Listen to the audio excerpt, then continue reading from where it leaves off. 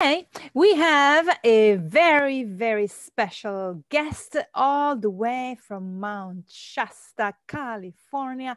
And we have Dr. Shan Hong Lu. Dr. Lu, who is going to um, give us a little bit of uh, uh, background uh, about herself. What did she do in the past? And what is she doing right now in the present to help people? In these uh, interesting times. Dr. Lu, thank you so much for being here in our Wellness Hub by Monica Campana. And uh, the floor is yours. Thank you, Monica.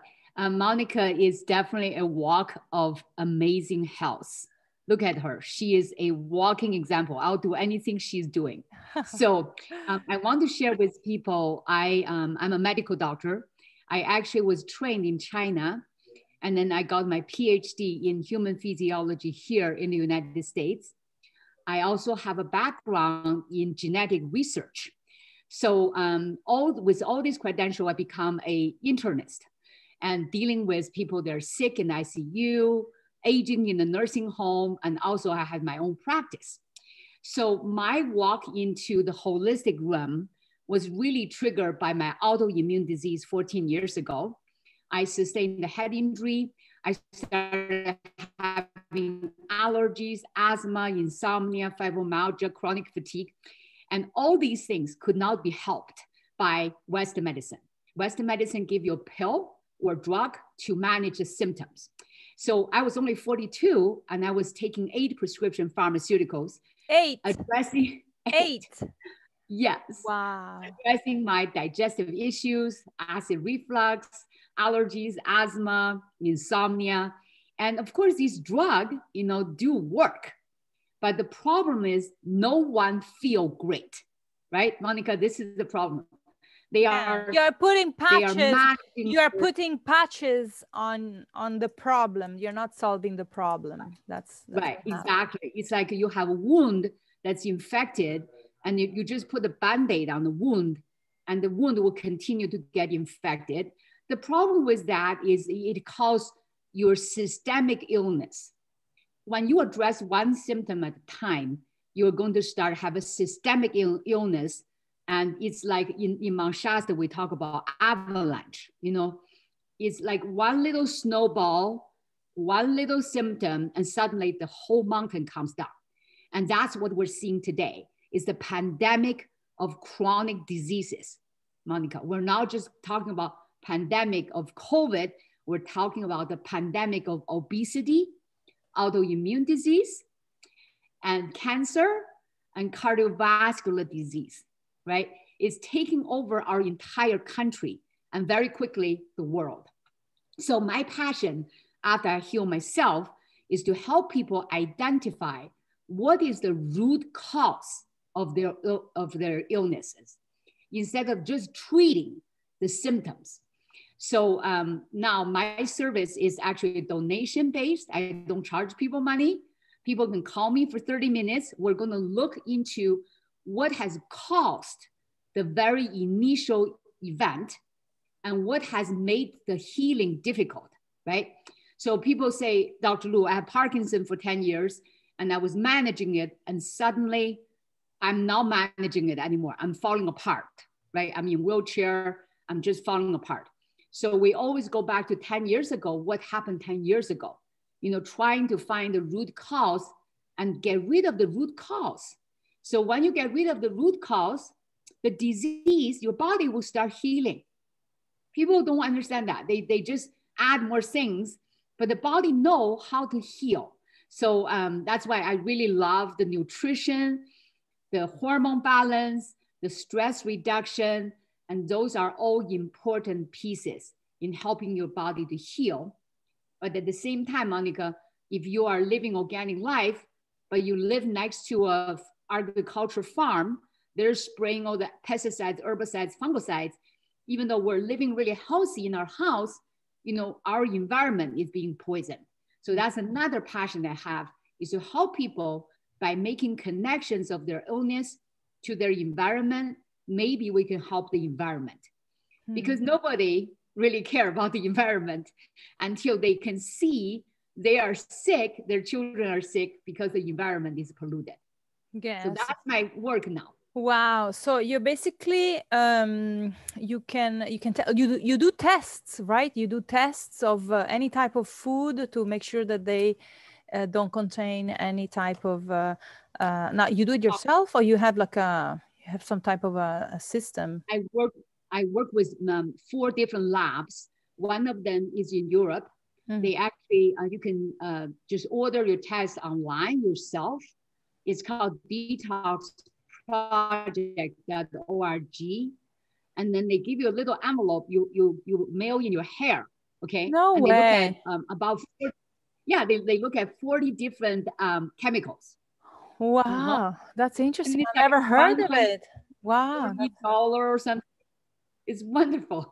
Wow. I think um, we put it. Did I put it? Did I put it on the post? I think I put it on the post. What is the name of the, it's called the, the Detox website? Project. I know I don't have it. I have to add it. Okay. The detox, what is it? The detoxproject.org? Project.org, right. Oh, the detoxproject.org. Yes. And they mail to every country. They mail to Brazil and uh, Switzerland and Italy. Isn't that cool? Wow. So people call me and say, Dr. Lu, I have my data now. What I should do? Um, if they're clean, we'll just give them very good congratulations because that means they are they're living a better life than most of us. Um, so it's really important to find out. Oh wow! And now, have you had? Do you have some type of a database? Have you done uh, many of these mm-hmm. uh, or received results from from tests from all over the world right now? How are yes. numbers? Yes, I'm a numbers two women. Yeah. So um, in the past four years, since 2016, I attended an environmental health symposium. It's called the EH, EHS. They have a symposium every year. Last year they had a virtual because they can't really gather. Um, but in that conference, many lab came. So we started measuring people with cancer, breast cancer, ovarian cancer, Parkinson's disease, autoimmune, uh, fibromyalgia, chronic fatigue. We start measuring their urine level. To my surprise, uh, Monica, even people have from Florida, from New York, you know, from different places, the number one chemical we found is glyphosate. Glyphosate is the main ingredient in Roundup. Roundup is an herbicide that people use in their garden, maintaining their beautiful lawn, uh, the school, the park. They keep the weed down, right? um, not to mention the farming. They grow all the GMO food, all the conventional food have Roundup laced. Not only they grow them, they also use it for harvesting. So we were talking about people eating bread. Some people can't eat bread, not because the bread itself, is really because the bread are laced with glyphosate hmm. to harvest. During the harvest time, they dry the leaves so the, the wheat are easy are easier to be harvested. You see, so a lot of the vegans actually, if they're eating conventional legumes, are tested very high in glyphosate. Because I'm a vegan for the past five years, you know, I eat only organic, but a lot of people don't know, so they go to the store and they buy a loaf of bread, and the loaf of bread will say non-GMO, you know, natural. But bread is not the GMO anyway. But the bread can be still sprayed with Roundup for harvesting. You see? Wow. So it's really, really significant um, finding that I and was how shocked. do you so what do you what type of bread do you should you eat you should always do organic organic bread organic bread the best is the stone grind uh, that's the old uh, you know, grinding methodology that does not deplete the nutrients. Um, so stone grind, grind organic bread is definitely a must. Hmm.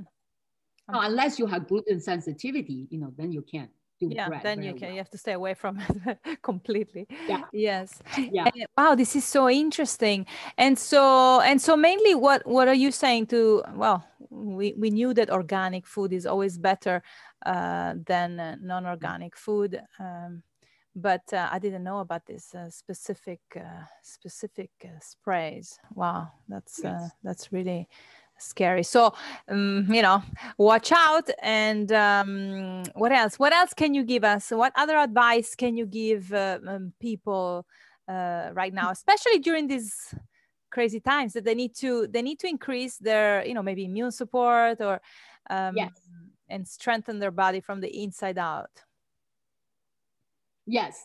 So the second toxin we found out um, that people are really high is called BPA. Bisphenol A uh, is basically originally developed for hormone replacement, you know, like woman goes through menopause mm-hmm. because it's estrogen mimic. Uh, it's a pharmaceutical estrogen.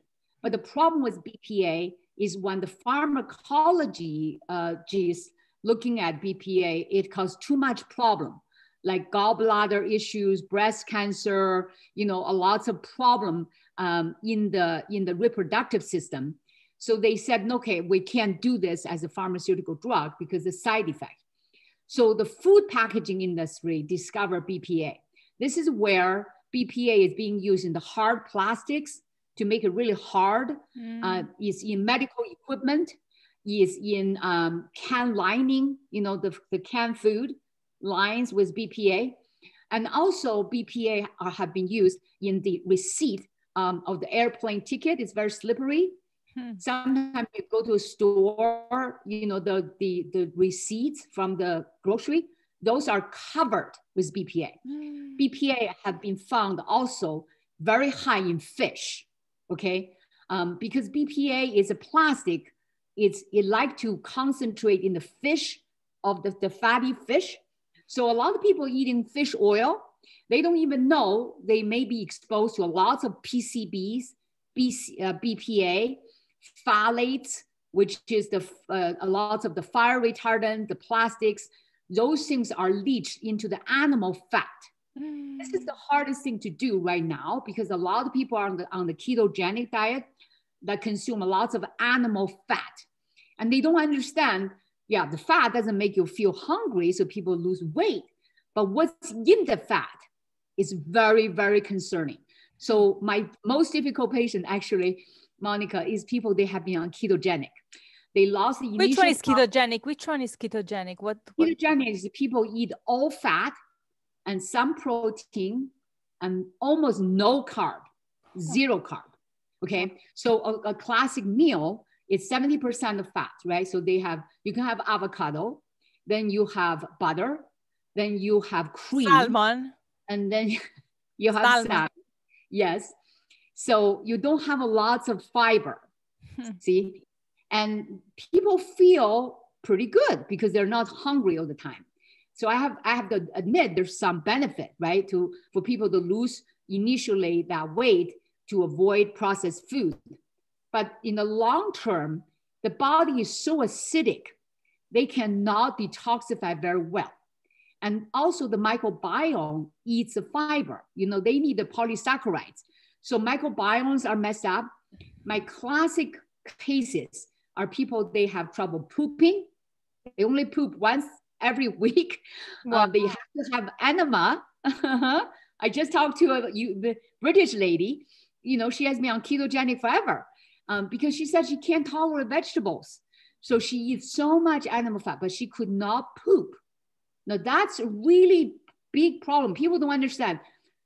Having a good bowel movement one to two times a day is essential for your brain health hmm.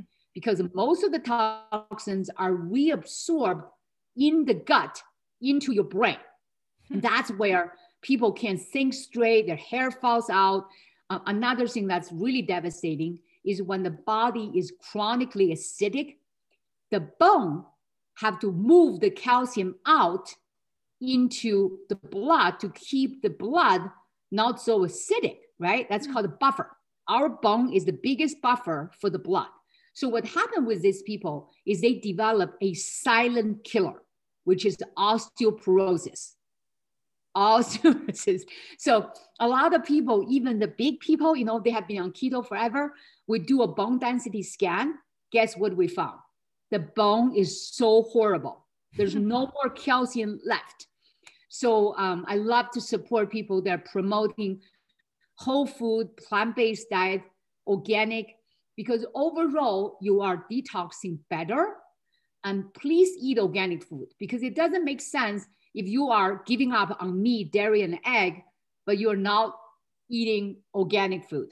I think it's really important because I am seeing some vegans have high level of glyphosate and BPA because those things are still in our body. Wonderful. Well, Dr. Lu, Good. this is not, yes, this is not going to be the last time that we will have you here because you have so much to give and and uh, and uh, to help people out there who, who need advice. And so hopefully they will contact you to get more information and maybe check what they're what they're eating, double check. And if there are some uh, some products that they're not sure about, they can ask you to to find out more. Yes. So yes, I I thank you so much for for coming and uh, helping us. Um, thank you everyone for being here, and until next time, mwah, ciao everyone. thank you, Monica, for everything